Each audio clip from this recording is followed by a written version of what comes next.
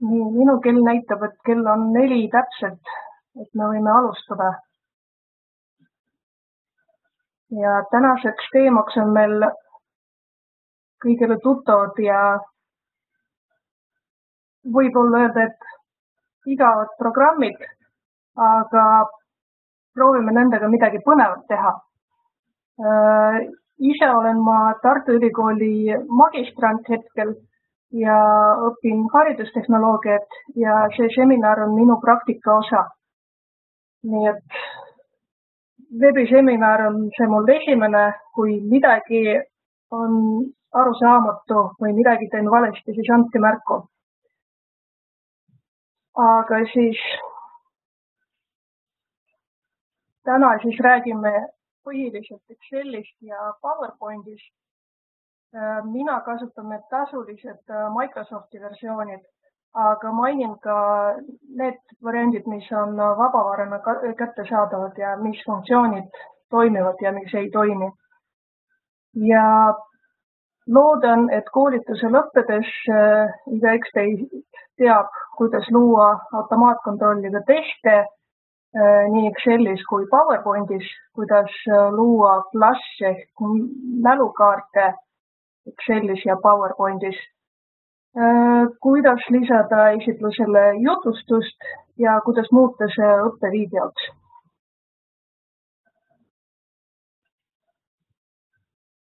Äh, esiteks, miks on seda üldse vaja, et meil on olemas tegelikult päris palju veebipõhiseid versioone, millega neid samu asju võiks Äh, teha ju veebipõhiselt, et äh, mispärast äh, oleks vaja neid üldse kasutada. ja mispärast on vaja üldse arvutit kasutada. mina näen, et üks hea võimalus on õppetegevuse mitmekesistamine. nii palju, kui mina olen kasutanud, lastele ikka meeldib ka arvutis toimetada ja samad ülesanded paberi peal või, või arvutis äh, ei ole, ei ole sama väärsusega lastele äh,. siis teine asi on veebipõhised rakendused aeg-ajalt ei ole kättesaadavad, kui nad on kui net on maas või kui rakendused lähevad mingil ajal tasulisteks, et seda aeg-ajalt ikka juhtub, et need, mis on oma arvutis, need on ikka jäävad oma arvutisse. et neid saab igal juhul kasutada. Äh, siis on sellised asjad nagu läbiv teema tehnoloogia ja innovatsioon, mis on nii põhikooli kui keskkooli riiklikus õppekavas ja ka üldpädevus, digipädevus, kuidas see seotud on, et esiteks me õpetame lapsi kasutama, teiseks jällegi minu enda kogemus, et kui laps näeb sellist asja arvutis, siis ta, äh, siis ta tahab ka teada, isegi kui ta ei ole väga tehnoloogia eriline huviline, äh, ta tahab teada, et kuidas see tehtud on ja kui keeruline on seda teha nii, aga liigume edasi. Mida peab silmas pidada, et, et kuna need programmid, millest mina räägin, on, on tasulised, siis ei pruugi neid olla õpilastel. ja teine asi, et tegelikult õpilastel ei pruugi ka arvutit olla, kuigi see tundub meile teinekord natuke nagu ebatõenäoline, aga, aga siiski juhtub, et õpilastel selleks, et töötada nende digipõhiste materjalidega, peab olema kas kodus või siis võib-olla koolis ka, kui, kui selline võimalus on, et kui ta saab väljaspool oma arvutiõpetust saada arvutiklassi või ma ei tea, raamatukogu arvuti taha, et et sellega peab arvestama, kui, kui neid materjale teha.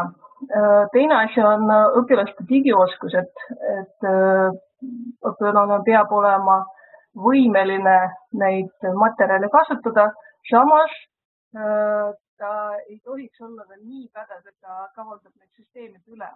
sellest natuke hiljem räägin. digivahendite vähene paindlikkus on see, et ta ei tee vahet, kas tegemist on selle veaga, mis on antud tunni teema ehk siis mis on sisuline vea või tegemist on mingi trükiveaga, mis oleks nagu tavalise õpetaja puhul nagu iseenesestmõistetav. aga see võib-olla ei olegi kõige hullem. teine asi, et äh, arvuti ei tee vahet, kas äh, õpilane reaalselt mõtleb või ta tegeleb äh, äraarvamisega. et põhimõtteliselt arvutil ei ole vahet, kas sa lööd seda õiget vastust kümme või sada korda ja kas sa mõtled seal vahepeal või sa lihtsalt nagu proovid erinevad variandid järjest, et kuni, kuni jõuad õigeni. et selles mõttes on see natuke nagu piirang. ja materjalide ettevalmistus äh, võtab tavaliselt natuke rohkem aega, sest et lisaks sellele, et materjali sisu peab ette valmistama, peab ette valmistama ka vormi, milles seda materjali esitada. Äh, tõsi küll, näiteks materjali tulemuste kontroll võtab palju vähem aega. Et kuskil tasakaalu peab üles leidma. nii, aga alustame natuke keerulisema programmiga, Exceliga ja vaatame, kuidas sellega teha kõige lihtsamat automaatkontrolliga testi. et selleks jagan teiega ekraani ja siis vaatan, mis mul on juba ette tehtud. Ja kui teil on võimalus äh, proovida oma arvutis, äh, siis äh, võite proovida, proovimiseks sobivad nii see tavaline Microsofti Excel kui ka LibreOffice kalk või siis Google Drive'i see arvutusleht.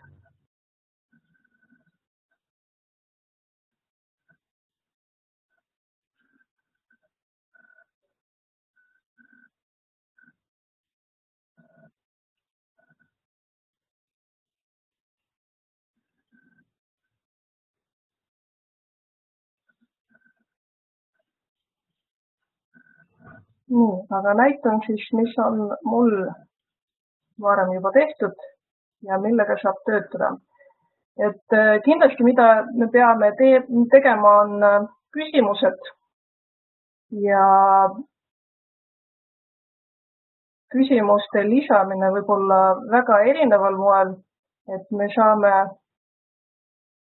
panna neid lihtsa testi puhul, me saame panna neid äh, riida sisse tekstina me saame sisestada nad valemina, nagu siin murdude ülesanne on. me saame panna sisse ka pilti kuskilt väljaspoolt, piltülesanne on täiesti võimalik. otseselt küsimuse sissepanek kõige lihtsama testi puhul ei olegi oluline. oluline on vastus, et kuidas see Excel saab aru, et et kas äh, õpilase poolt antud vastus on õige või ei ole õige. Äh, selleks pannakse küsimus, et mina dubleeriks neid äh, küsimusi tegelikult ka vastuse lehel. Aga tavaliselt tava on, et, et vastused pannakse teisele lehele, et ei hoita neid samal. kuigi väga suurt vahet ei tee, et, et me saame neid pärast ka samal Exceli lehel ära peita. aga oluline on see, et kui ma mingi hetk tahan küsimuste järjekorda ära muuta, vot siis on mugavam, kui, kui need õiged vastused on teisel lehel, et siis ma ei pea valemit muuta. Et, et ta teeb seda automaatselt. nii, kui meil on õiged vastused sisse ära pandud siis äh, jätame õpilasele kohta, kuhu tema saab oma vastused sisse panna ja peame tegema tagasiside lahtrid.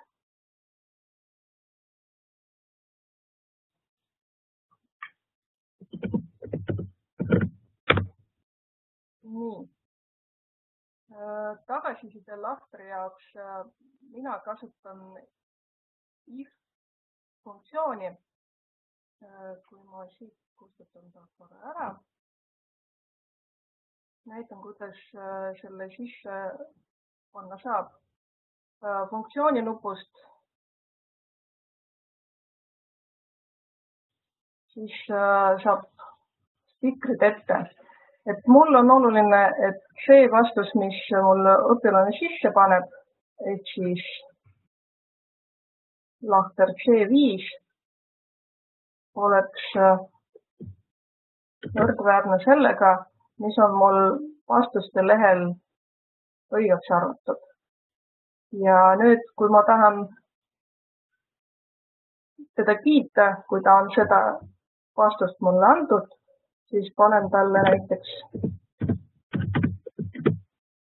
tubli sisse ja juhul, kui seda õiget vastust ei ole seal, siis panen sisesta õige vastus.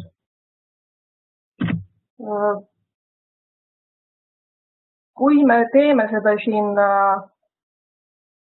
spikri aknas, siis ta, Excel automaatselt ise paneb need äh, jutumärgid äh, tekstilistele väärtustele. et kui me teeme seda valemis, me saame valemis seda ka teha, et siis sellisel juhul me peame ise panema, arvestama sellega, et see ei ole mingi numbriline väärtus, muidu, muidu meile tuleb äh, viga ette. kui praegu meil ei ole seda vastust ees, siis tuligi meile sisustada õige vastus. ja nüüd äh, me teame, et küsimusi on meil siin kümme ja skoori lugemiseks kasutame count'i funktsiooni. nii, kui ma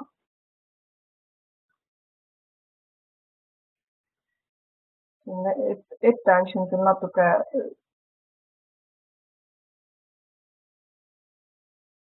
teist valemit aga põhimõtteliselt counting funktsioon annab seda, et ta ei loe mitte kõik need lahtrid, vaid ainult need, kus on õige või vajalik sõna sees. nii. ja kui ma nüüd siia sisestan valet vastust, siis midagi ei muutu. kui ma parandan ta õigeks, siis automaatselt ilmub mulle siia tagasiside ja test loeb ka neid skoore, et, et neid saab hindega seostada, aga tegelikult parem on isegi see äh, enesekontrolliks või, või harjutamiseks testina. küsimusi saab siin ära täita ja siin on äh, see teema, et, et äh, päris hea on sisse panna need järjest ja, ja kasutada seda automaatsisestamist, aga õpilased äh, konkreetselt korrutustabeli puhul väga, väga kiiresti saavad seda liitmisstrateegiat kätte, et siis nad ei, mitte ei korruta, vaid liidavad, et sellise asja puhul meil ongi mõtet järjekorda natuke muuta.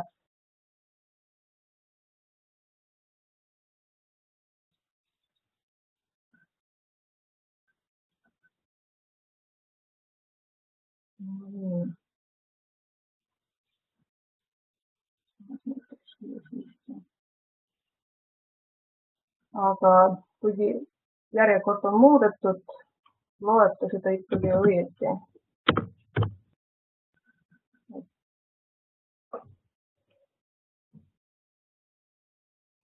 valem sellest trash'i ei lähe, sest et ta on äh, teisele lehele ära pandud. nüüd, kui me tahame seda testi anda üliõpilasele, siis me kindlasti ei taha, et ta läheb kohe vastuste lehe peale ja avastab selle. selleks on meil esimene võimalus äh, seda lehte ära peita ja teine võimalus selleks, et äh, õpilane ei saaks seda lehte tagasi tuua, kui ta on juba pädevam Excelis, siis äh, review menüüs on meil olemas äh, dokumendi struktuuri ja lehe struktuuri kaitsev äh, funktsioon. et lehe struktuur on siis selline asi, et ta lubab täita ainult need asjad, mis on, mis on täitmiseks mõeldud ja teised asjad ta ei saa ei segamini lüüa ega vaadata, kuidas need tehtud on, et äh, kui praegu ta läheb ükskõik mis lahtre peale, siis äh, ta näeb ka seda valemi. et äh, juhul, kui me tahame seda ära peita tema eest, siis me kasutame lehe kaitsmise funktsiooni, aga enne veel me peame arvutile teada andma, et mis ruutu tegelikult võib kaitsta, et selleks me vaatame need sisestamisruudud ja parempoolse hiireklõpsuga kasutame formaati versiooni ja siin on see kõige viimane kaitsmise lahter. Äh, vaikimise on kõik ruudud nagu kaitstud, et meie võtame meile vajalike ruutudel seda kaitse maha. nüüd on nad lukustamata. aga kui me nüüd kasutame lehe kaitsmist, siis äh, siin meil peab olema niimoodi, et, et me ei luba inimesele valida need ruudud, mis on kaitstud, aga need, mis on kaitsmata, neid ta võib äh, valida küll, sellepärast et ta hakkabki neid, äh, hakkabki sinna oma asju sisse panema. Äh, meil on kaks võimalust, kas kaitsta see parooliga või ilma paroolita. kui lapsed ei ole veel Excelis pädevad, siis võib ka ilma paroolita kaitsta, et seda on lihtsam maha võtta kui lapsed juba Exceliga tuttavad, siis äh, mina paneks parooli sisse. ja seda ta küsib uuesti. Pealepanekul ja põhimõtteliselt äh, siis, kui te tahate ära võtta, siis ta küsib ka seda uuesti, et, et niisama ei võta ja sellega peab arvestama, et, et seda parooli ta kuidagi taastada ei anna, et kui ükskord on läinud, siis on läinud, et, et siis ei saagi seda dokumendi teistmoodi kasutada, et, et kuskile endale võiks kirja panna. nii, aga kui ma näiteks nüüd üritan kuhugi minna, siis ta lubab mul kasutada neid, neid ruudut, aga ei luba näiteks siin miskit muuta kõik teised ruudud on ära kaitstud. nüüd äh, see on hea sel juhul, kui meil on tegemist äh, küsimustega, äh, kus on ainult üks õige vastus. aga kui vastusi on natuke rohkem kui üks või kui võimalusi on rohkem kui üks, siis meil läheb vaja natuke rohkem võimalusi ja selleks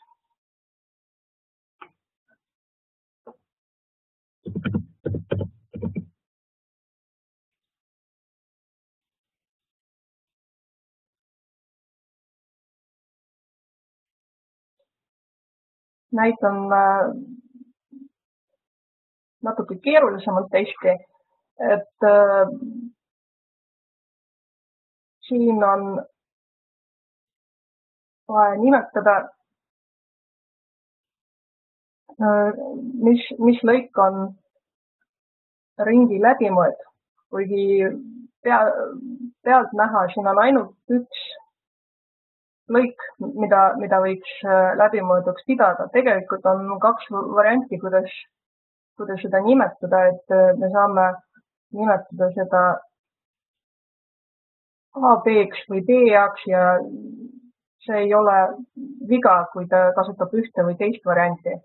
et äh, igal juhul me võime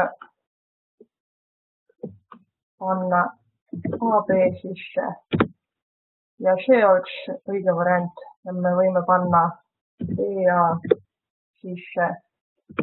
see on ka õige variant. selleks, et arvuti loeks meil mõlemad variandid, me peame andma talle natuke rohkem vastuse variante ette. mina seekord äh, tegin sama lehe peale, sest et muidu läheb liiga keeruliseks, aga tegelikult täpselt samamoodi võib, võib ka vastuste lehele seda asja panna.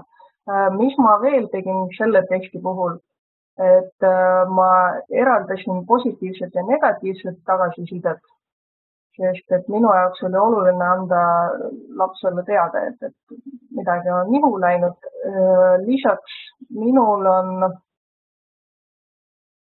järgmise küsimuse ilmumine seostatud sellega, et kas eelmisele on õigesti vastatud. nii, aga positiivse tagasiside saamiseks ma kasutan loogilist funktsiooni OR Äh, kui ma tahan seda siit ära kustutada, siis täpselt samamoodi tuleb siin funktsiooni lõpust. Äh, kui kohe ette ei tule, siis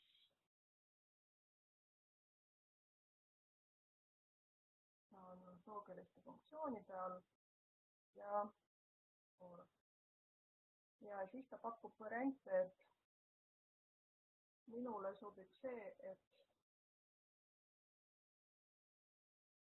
sisestatud vastus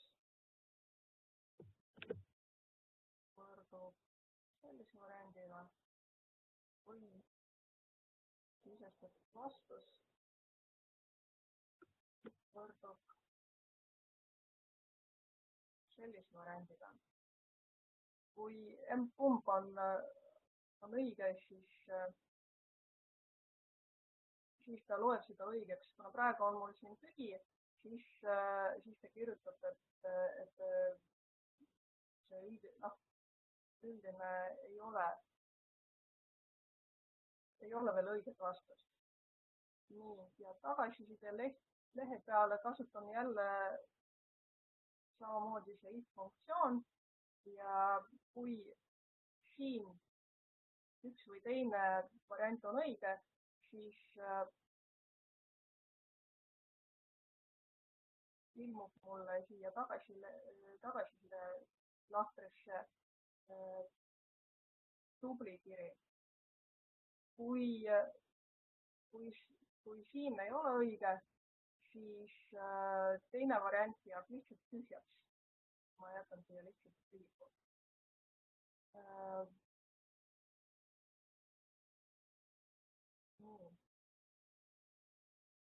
ja siin on siis negatiivse tagasiside lahter äh,. selleks kasutan eraldi, kuna mul on vaja, et äh, vähe sellest, et, et äh, sinna positiivse tagasiside lehele või, või et, et sisestatud vastus äh, äh, ei ole õige, aga mina tahan arvestada ka sellega, et, et see sisestatud vastus ei ole veel sisestatud.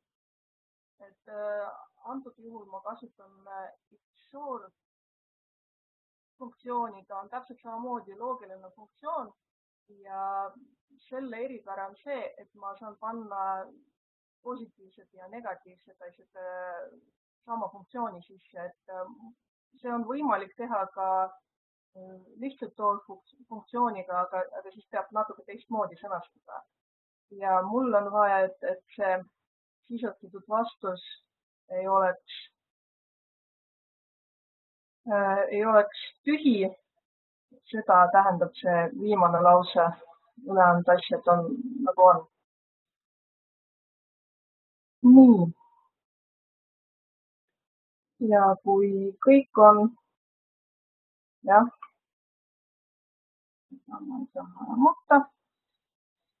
nii, ja kui kõik on tehtud, siis analoogselt on tehtud ka järgmised asjad, mis siin on oluline veel silmas pidada. näen praegu õiget vastused ette, et äh, näiteks järgmise küsimuse puhul meil on äh, kolm lõiku, mida võiks pidada ringiraadiuseks ja järelikult on kuus varianti, kuidas neid lõikusid nimetada. et võtame üks.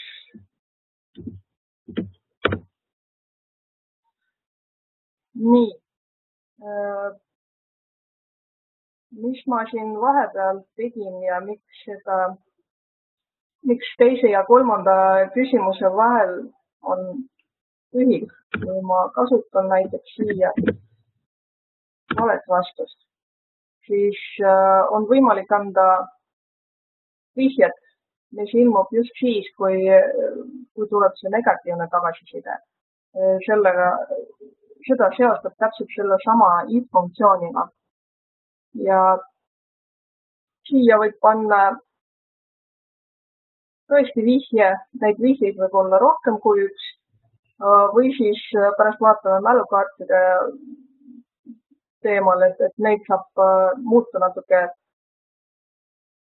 et, et anda lisatööd äh, lapsele, et, et kuidas õppimist natuke lõhusamaks teha. nii, aga oletame, et ta on saanud meil sellest vihjest aru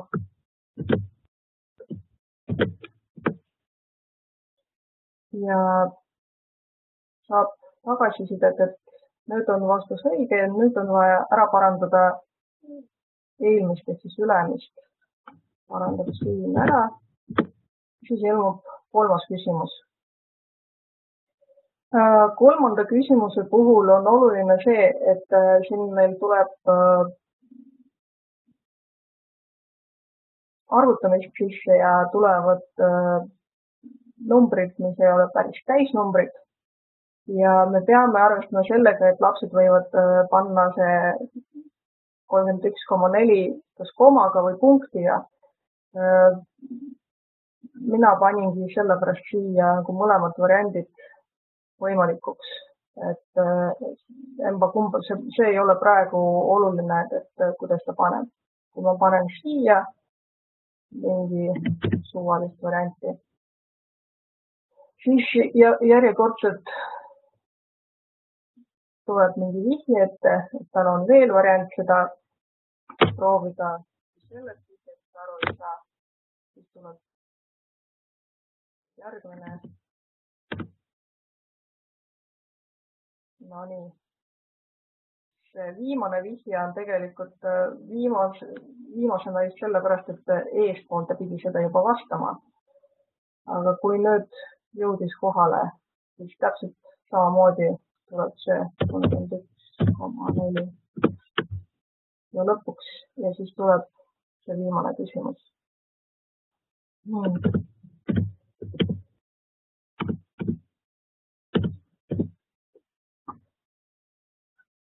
nii, et äh, loogilisi funktsiooni võib kasutada mm, määramiseks kas or XOR and või not.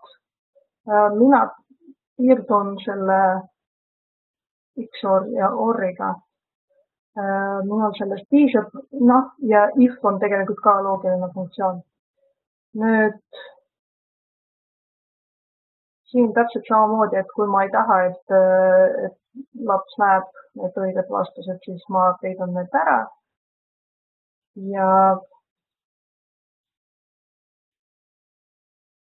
ja kui ma ei taha, et, et laps saab need uuesti kätte, siis täpselt samamoodi käiksin lehte ära.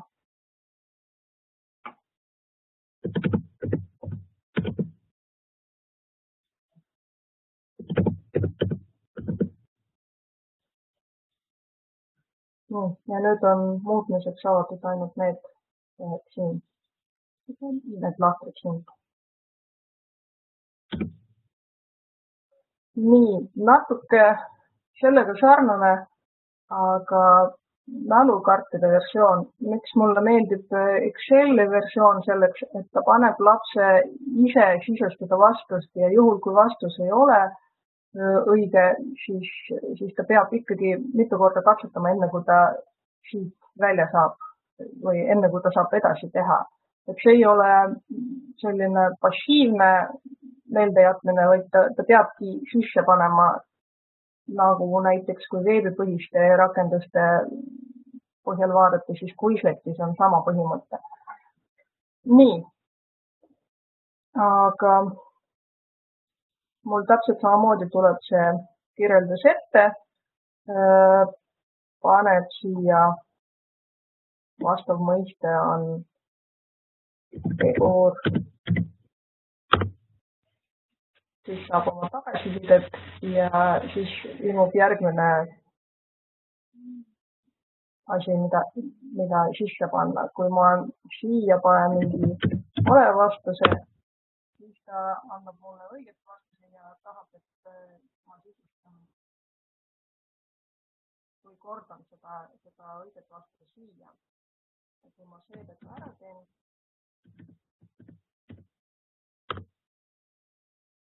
siis ta annab tagasisidet ja siis ta tahab, et siia panen veel kord sisse.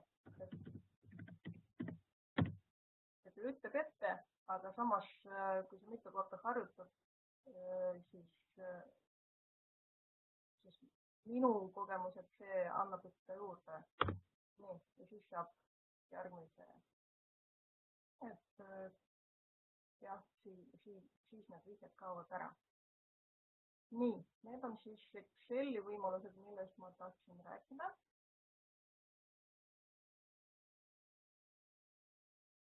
vaata korra veel.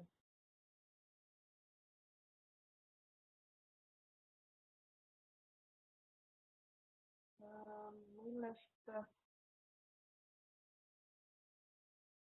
millest me ei rääkinud, on äh, vormistamine Äh, vormistamine on võimalik või, või ütleme nii, et võimalusi on rohkem lihtsama testi puhul, et seda saab tabeliks muuta ja, ja värviliseks muuta. et selle keerulisema versiooni puhul saab tegelikult ka, aga kuna seal kõiki küsimusi ei ole kohe, vähemalt minu versioonis ei ole kohe ees, et, et siis see on natuke selline valikuvõimalus valiku küsimus. nii äh,, keerulisem ehk siis interaktiivsem test ja mälukaardid. oluline on see, et, et anda õiged vastused ette äh,, määrata, kuidas ta loeb, kas vastus on õige või mitte ja kaitsta, et laps ei näeks liiga palju. nüüd millele tähelepanu pöörata selle juures, et äh, küsimuste koostamisel äh, kindlasti peab läbi mõtlema selliseid küsimusi, millel oleks võimalikult vähe vastuse variante, et mis on õige. Äh, see koma või punkti teema, et on kaks varianti, kas lugeda mõlemad õigeks või siis tegelikult võib veel äh, ette anda ka juhendi, et, et kuidas seda testi täita ja mis asju kasutada, mis asju mitte kasutada. Äh, õpilaste oskused programmis. Äh, rääkisime sellest, et õpilased peaksid oskama programmi üldse kasutada, aga konkreetselt selle korrutustabeli ülesannete puhul, et juhul, kui seda sisestada valemiga ehk siis võrdusmärk ja üks kord teist siis äh, sinna ruutu ilmub täpselt sama õige vastus ja programm täpselt äh, samamoodi arvab seda õigeks. et äh, see on see teema, et äh, kui ta oskab natuke rohkem, siis ta saab ka natuke rohkem nagu süsteemi üle kavaldada et ühelt poolt see on küll hea, et, et ta on pädev selles teemas, aga, aga see ei vii teda edasi ja õnneks korrutustabeli õppivad lapsed tavaliselt Exceli veel nii hästi ei tunne. aga noh, kunagi ei tea ette, et võib-olla on laps, kes sellega just konkreetselt harjutanud palju.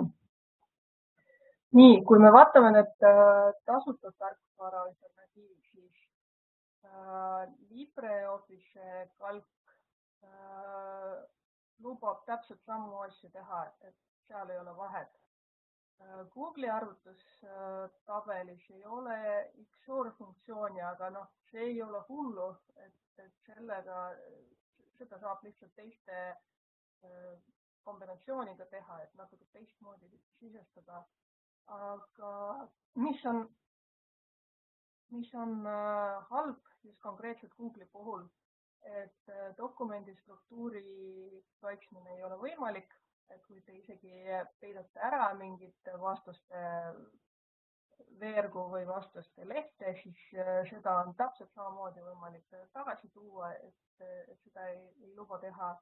ja lehe kaitsmine päriselt nii ei toimi, et äh, kui te peate andma lapsele õigusi selles tabelis muudatusi teha, siis ta saab ka seda teha. et, äh, et seal ei ole varianti, et ta saab ainult mingi osa muuta, ta saab muuta kõike või ta ei saa muuta üldse mitte midagi, et, et sellisel juhul ta ei saa ka testi teha. nii. kas äh, Exceli kohta on küsimusi? või liigume edasi?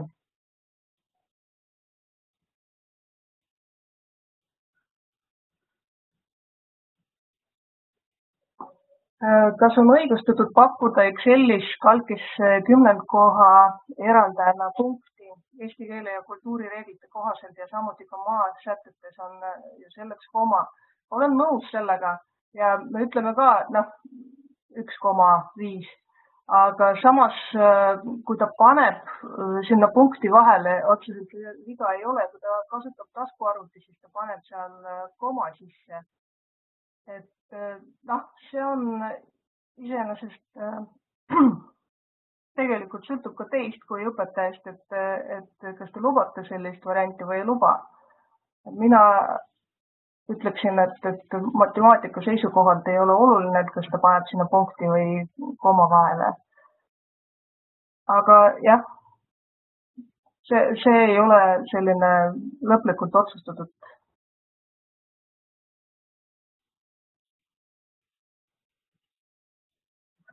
Äh, mis moel on realiseeritud variant, et õige vastuse sisestamisel tuleb järgmine küsimus.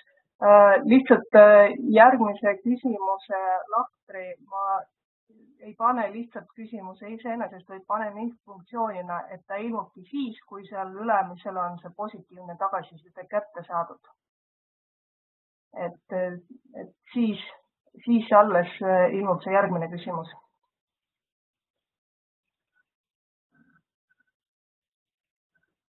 just täpselt if lause, jah. nii. on veel küsimusi? siis liigume edasi. nüüd on siis PowerPointi võimalused. PowerPointi eelis Exceli eest on see, et seda annab teha värvilisemaks ja atraktiivsemaks jällegi puudus Exceli eest on see, et äh, PowerPoint on natuke passiivsem, et äh, see ei võimalda sisestamist, võimaldab valimist, aga ei võimalda, ei võimalda sisestamist. et kuskil see tasakaal jällegi, et, et mis, mis materjalide puhul sobib üks või teine parem. aga siis PowerPointi soovitatakse alustada alati äh, sooritamis, äh, testi sooritamise juhendist, et kuidas teha. Äh, siis küsimus-vastuse variandid ja vastuse variantidele paneme dokumendisisesed viited ja salvestame ta PowerPoint show'na mitte, mitte tavalise PowerPoint äh, failina, vaid PowerPoint show'na, siis äh, see kasutaja ei näe, kuidas meil need failid äh, järjest lähevad. et, et ta on sunnitud ainult kasutaja rolli kasutama, mis on positiivne, et testi puhul need viited dokumendisisesed toimivad ka siis, kui me salvestame seda PDF dokumendina. et et me võime mitte, mitte show'na saata, vaid PDF-ina ja see toimib täpselt samamoodi, äh, mis annab meile natuke vabamad käed, et juhul, kui lastel ei ole seda PowerPointi tarkvara arvuti peal, siis ta ikkagi saab seda PDF-ina kätte. nii, aga näitan, mis mul on PowerPointis ette tehtud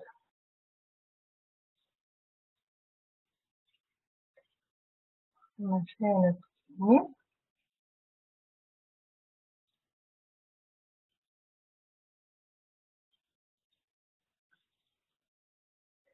nii, mina kasutasin kõige lihtsamat slaidi versiooni, kus äh, siin on pealkiri, pealkirja sisse panin juhendi, kuidas, äh, kuidas täita ja siis teksti sisse panin küsimuse. nüüd äh, vastuse variandi loomiseks kasutan kujundit. Minule sobis äh, selline natuke ümaram, ümardatud nurkadega ristküülid. Äh, siia sisse saab panna teksti jällegi sealtsamast. no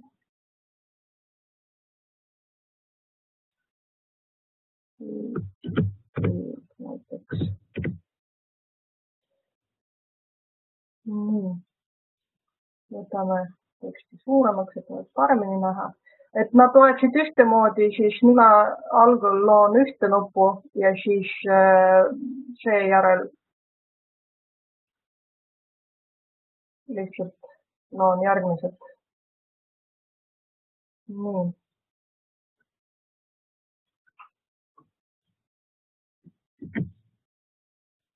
Siis on neid mitu ja täpselt samamoodi saab neid ka ära võtta siit, kui neid ei ole vaja nii, kui see nupp on valmis, äh, siis meil on vaja, et, et see nupp viiks kuhugi.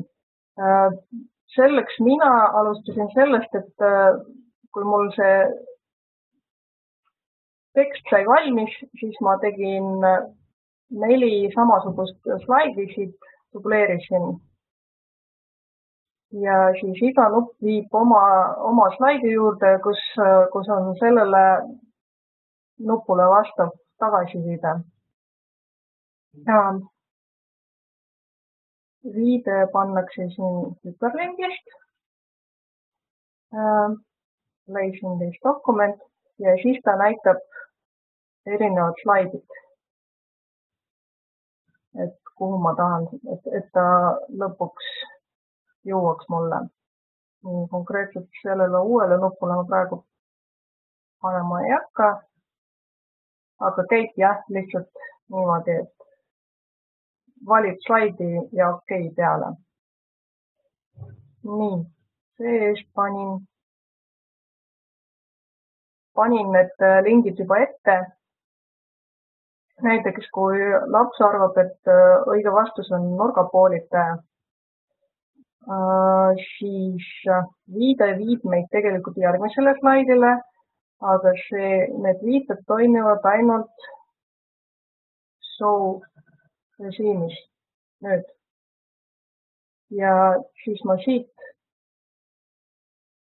näen, et, et saan tagasisidet, et see ei ole päris õige ja võtan see vastuse variant siit ära. On võimalik panna ka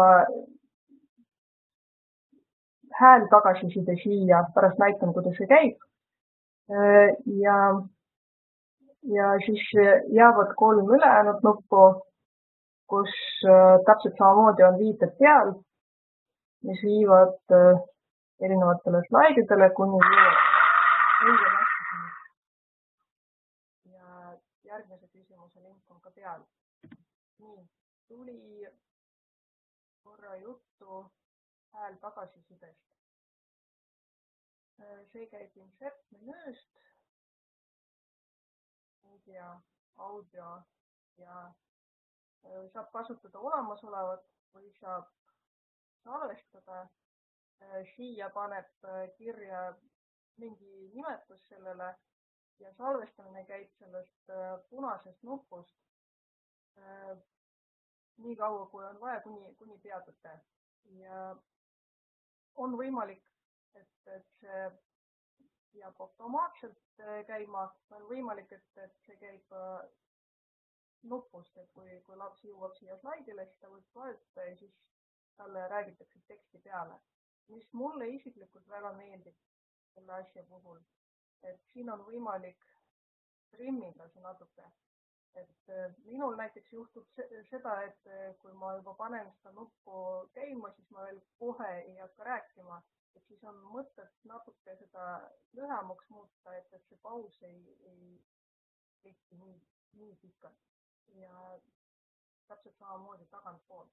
ehk siis järgmine kord, kui ta nüüd hakkab seda äh, rääkima, siis ta räägib juba siit, siin on tegelikult natuke näha, et, et kus need äh, lained nagu tavaliselt helitöötles programmis, et, et kust see heli tegelikult tuleb. nii.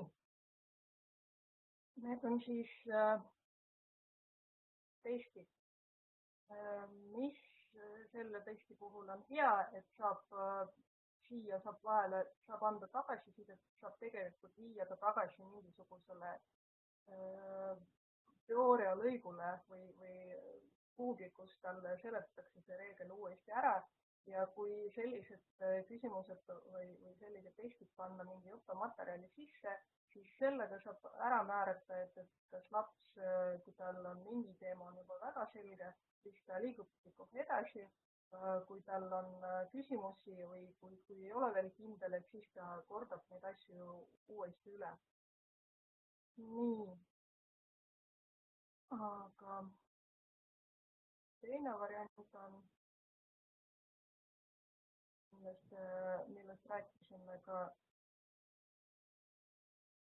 Excel'i puhul on mälukaardid, et siin Äh, PowerPointis seda on võimalik teha ilusaks, aga mis võimalust ei ole, et äh, isesisestamise varianti. ja selleks, et mälukaarte siin teha, me kasutame animatsiooni. selleks siis loome kaks samasugust mälukaarti või ütleme nii, et sama kaarti Äh, kaks külge, ühele paneme mõiste ja teisele paneme äh, kirjelduse ja peidame üksteise taga. juhul, kui meil äh, see järjekord ei ole päris selline, nagu me tahame, siis meil on võimalus funktsioonidega bring to front või send to back vastava külge kas ette või tagasi tõsta nii, mina olen oma järjekorras kindel. ja selleks, et nüüd äh, see asi meil liikuma hakkaks, äh, me kasutame animatsiooni. Äh, mina panin juba sinna siia peale. aga käib see siis niimoodi et määran iga objekti jaoks äh, add animation nupuga mingisugust äh, varianti, et minul on näiteks et see eesmine kaart on mul äh, mingi hetk ära kaob ja tagumine tuleb ette. et selleks mina kasutasin siin Äh, esimese kaardi jaoks äh, exit efekt ja kollaps. Äh, neid saab erinevaid kasutada, et kuidas, kuidas katsetada, et kuidas paremini sobib. Lihtsalt need kaks, mis mina kasutasin, omavahel hästi sobivad, tuleb ilus välja, aga see kindlasti ei ole ainuke variant. nii, ehk siis esimese kaardi jaoks kasutasin äh, sellist versiooni. Ja tagumise kaardi jaoks täpselt samamoodi kasutasin, olnud õige, kasutasin sisenemisvarianti ja siin ma kasutasin stretch'i.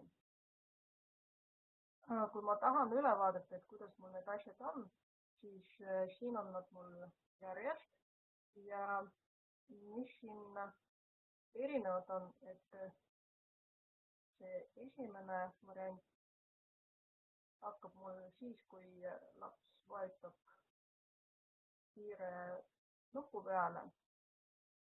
seejuures teine variant algab mul sellega, kui, kui esimene animatsioon on läbi. ja tegin teist korda jälle samasugust asja, et, et aga siis on juba mul ees see tagumine slaid, et siis toon neid tagasi täpselt samasuguse nipiga. panen need üksteise peale, näitan, kuidas see näeb välja. et mul on siis mingi kirjeldus, kui ma tahan teada, kuidas, mis see õige mõiste on, siis vajutan peale siis mul tuleb poiste ette. kui ma vajutan veel kord, siis tuleb kirjeldus tagasi. Äh, kolmanda klikiga ta läheb siis järgmisele kaardile. Äh, kaarte saab panna mitu ja saab ka ära määrata, et äh, kuhu saab vajutada ja mis juhtub, mis vajutamisega näiteks. siin on sellised variandid kuidas see käib? et selle slaidi puhul iseenesest äh, kõik on sama, need äh, sisenemised ja kadumised on täpselt samasugused. Äh, mis on eri, eriline, et ma määrasin siit klikkimiskohta. see käib niimoodi, et no nii et add animation võtab näiteks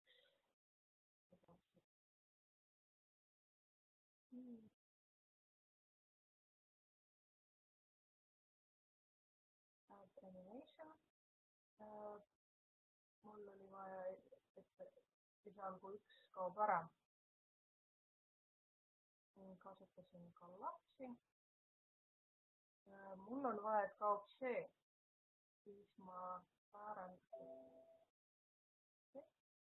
siis ma määran päästikud, et klikid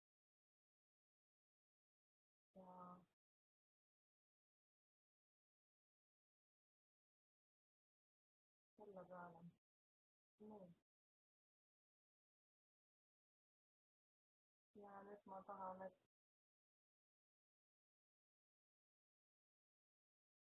tagumine ovaal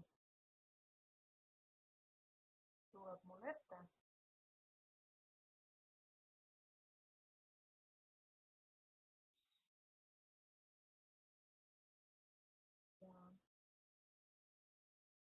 ja, see tuleb mul peale esimest, eelmist. nüüd see järjekord on mul muutunud. selle muutmiseks üleval on.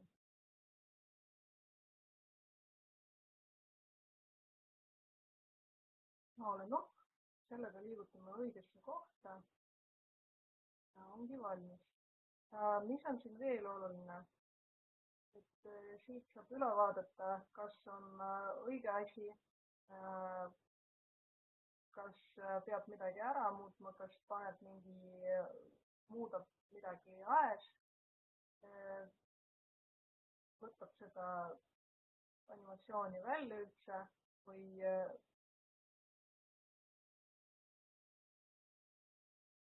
või siis on kõik õige, et, et siis jätab nii nagu on. nii, panen praegu on Motion Painting kinni ja põhimõtteliselt nii ta ongi valmis.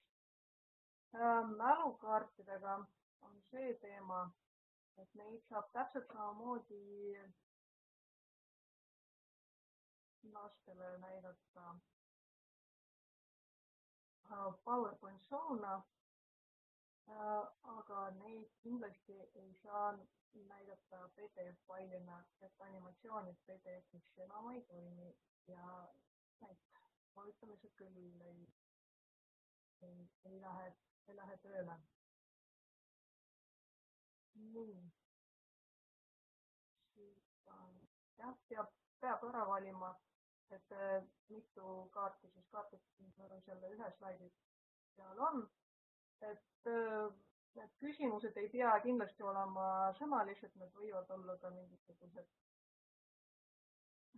pildid, mis mina olen netis näinud, et mingisuguste linnude äh, mälukaardid on tehtud, et, et kus eespool on linnu pilt ja siis tagapool on linnu nimetus, kuidas, kuidas ta on.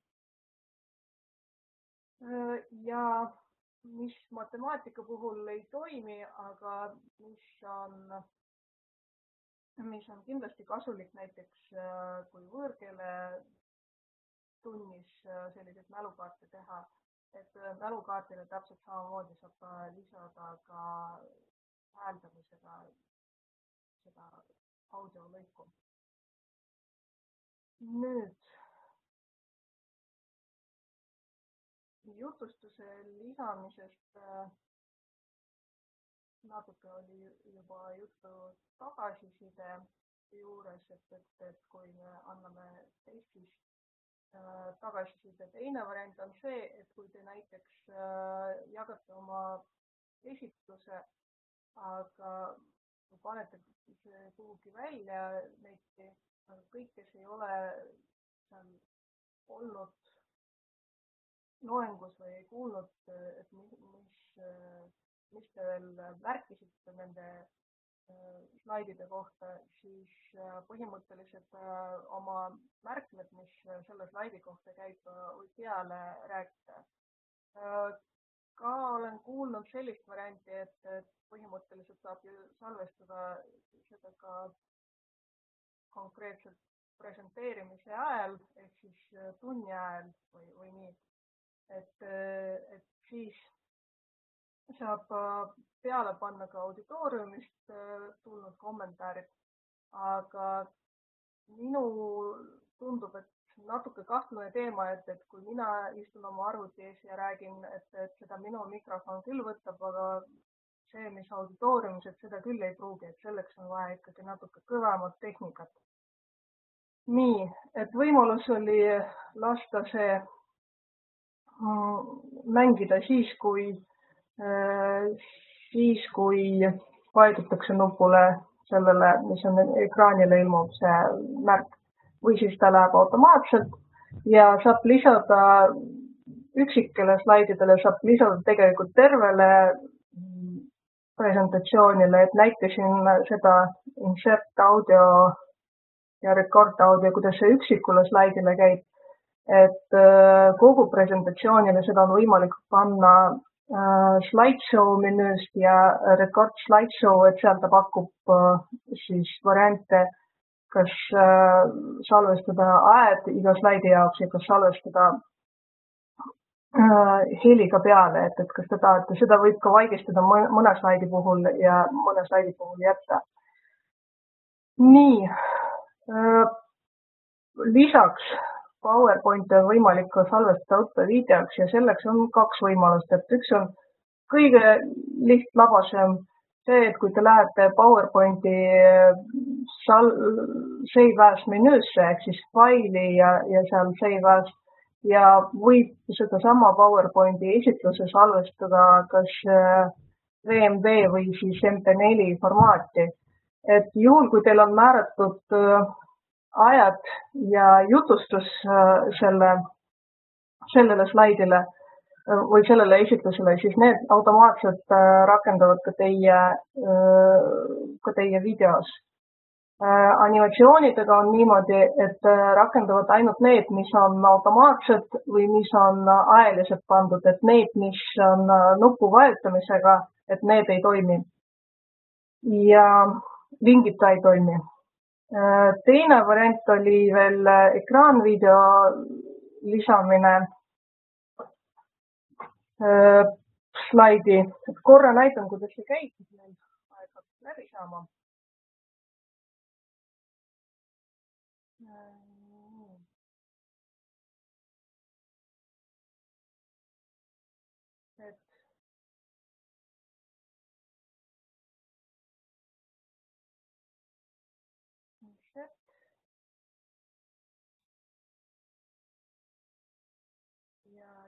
See kõige viimane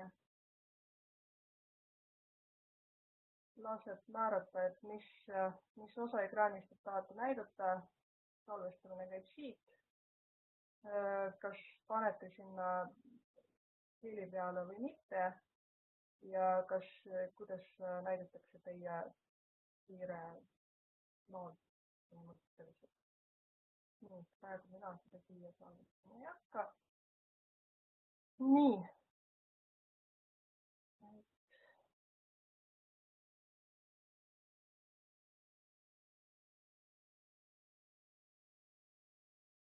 millele tähelepanu pöörata, on äh, kindlasti PowerPointi puhul, et erinevates formaatides salvestamisel on omad eripärad, et mis asjad kus toimivad kui vaadata need äh, tasuta alternatiivid, siis äh, Google'i presentatsioonis ei toimi jutustus, seal ei ole üldse audio lisamise võimalust.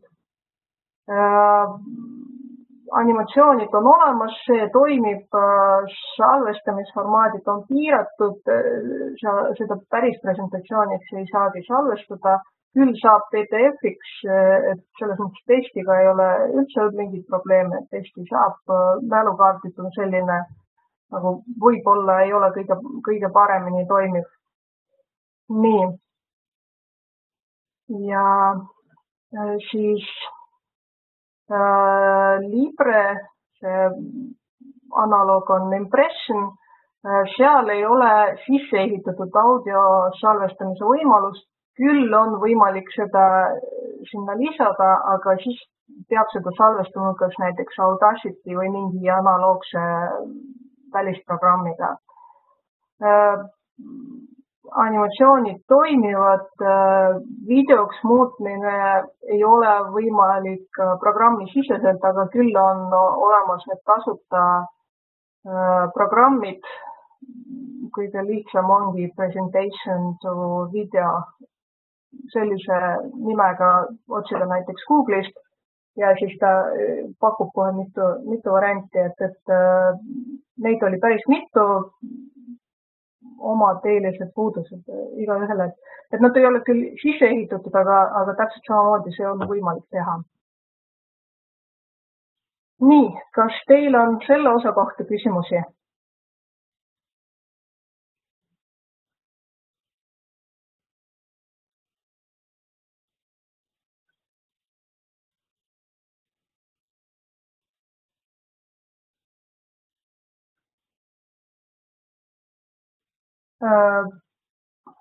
Vahelehed, äh, kas see käib äh, Exceli kohta, kuidas peidetakse vahelehed või see käib PowerPointi kohta?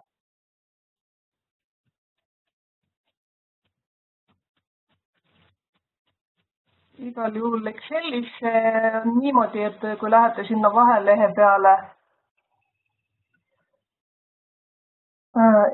ahah, PowerPointis, PowerPointis oli rohkem lehekülgi, ma läksin äh, nendest mööda linkidega, et kui ma ei taha, et, et äh, keegi näeb neid vahelehti, siis ma lihtsalt äh, eelmisest slaidist panen linki kohe ülejärgmisele slaidile näiteks. see on üks variant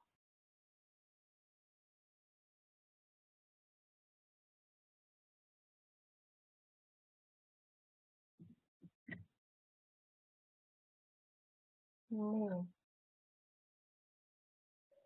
Äh, teised seda ei näe, kui nad kasutavad äh, seda linkidega versiooni, et te tegelikult, kui nad äh, liiguvad või kui, kui neile esitada seda presentatsioonina salvestatud faili, et kui nad kasutavad tavalist faili, siis nad näevad küll, nad saavad PDF-ida ka on näha, et kui nad liiguvad järjest, mitte ei kasuta neid sisemisi ringe.